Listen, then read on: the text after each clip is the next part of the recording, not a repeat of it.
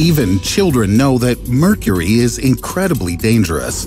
But it wasn't always so. Until the middle of last century, people took mercury as a cure for many diseases. Fortunately, those days are gone. And today you must be extremely careful when working with this metal. What happens if a drop of mercury gets on your skin? No, it's something even worse. What if you were immersed in a pond of mercury? In this video, you'll learn how truly dangerous mercury is. I'll talk about its terrible effects on the human body. Let's flood a lake with a huge amount of this metal and put an imaginary swimmer there. Want to see if they can survive and what exactly will happen to them? Let the experiment begin. But don't even think about doing something like this at home. It's life-threatening. If you've ever smashed a mercury thermometer, you must have seen shiny silver balls. Sure, mercury is extracted in a completely different form. Like other metals, it's extracted from ore, mostly from cinnabar. In general, mercury content in the Earth's crust is negligible, only 8 hundredths of a gram or 2 thousandths of an ounce per ton. This is why mercury is an extremely rare element. Condensate forms from its vapor, which, when cooled, collects as a liquid. Then the mercury is packaged in cast iron or steel flasks. Each one weighs 34.5 kilograms or 76 pounds.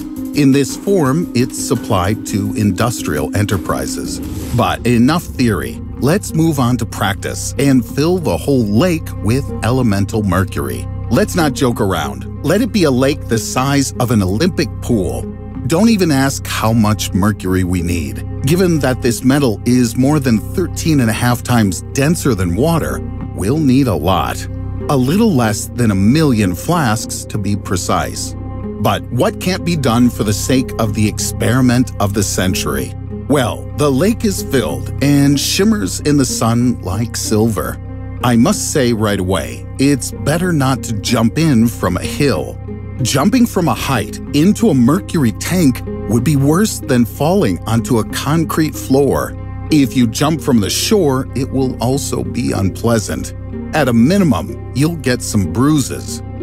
Mercury is so dense that you can't even be submersed in it by a couple of centimeters or inches but you'll probably be able to stand on the Mercury Lake.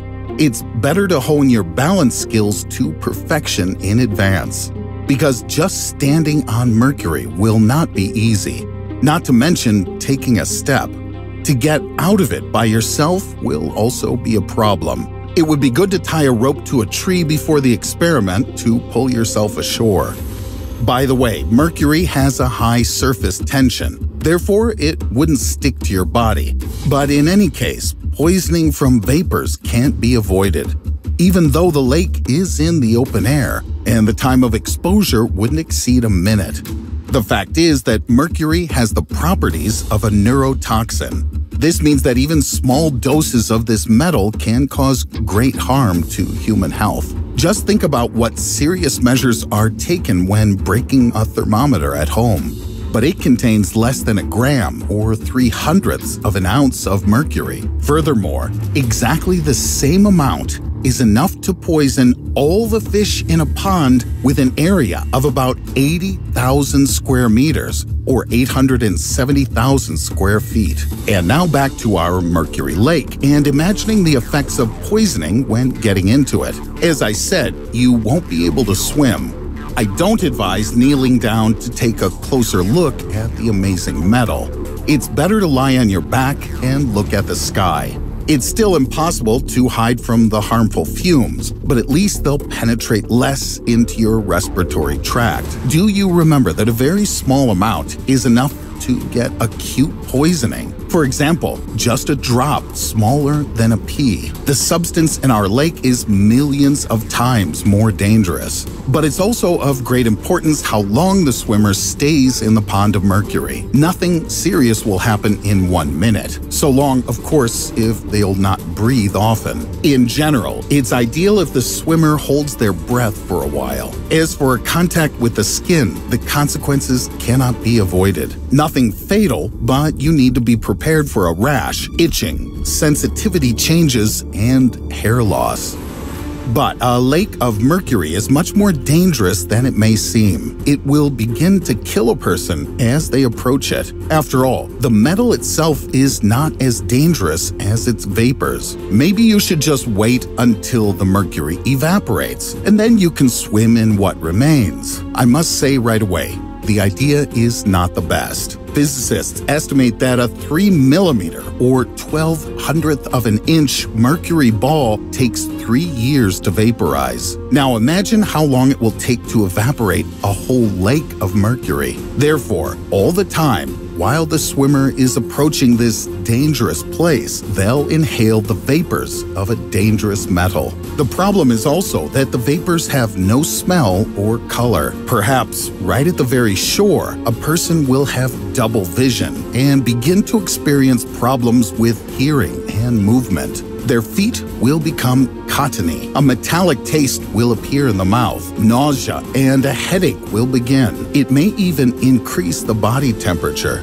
The heart will beat more quickly as when running then it's better not to even test yourself for strength, but to immediately dial 911 and try to get away or crawl away from the killer lake. Shock and loss of consciousness can happen at any moment, and then there will be no chance of survival. Mercury vapor poisoning is dangerous with its growing symptoms. They'll manifest themselves within a day after being exposed. Therefore, you can only enter the lake if you drive up in a tightly closed car directly to the shore. Then take a deep breath in the car and go. A couple of memorable shots, and immediately after, you must run back to the car.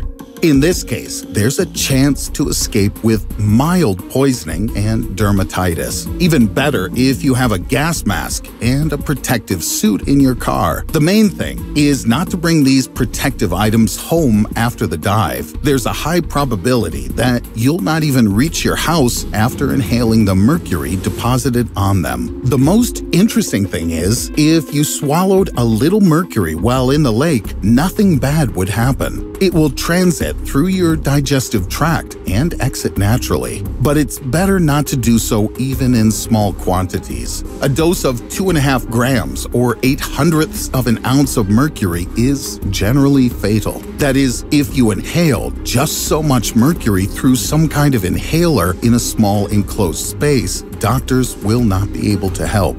Now, do you understand how dangerous this metal is? By the way, the idea of immersion in mercury is not at all new. Just look at this photo taken in 1972. On it, a brave miner sits in a tub of the toxic metal. I hope this was only for the sake of the photo and for a couple of seconds. In ancient times, people generally considered mercury to be an elixir of immortality. Therefore, emperors drank mercury tablets and took mercury baths. What was the outcome after such procedures, I think you can guess. But mercury, to be honest, is just a harmless metal compared to its compounds. In the Japanese city of Minamata, thousands of people have been poisoned by the dangerous mercury compound methylmercury. It arose due to microorganisms living in the water. Using elemental mercury, they converted it into a harmful neurotoxin. And a couple of drops of dimethylmercury that were spilled cost the life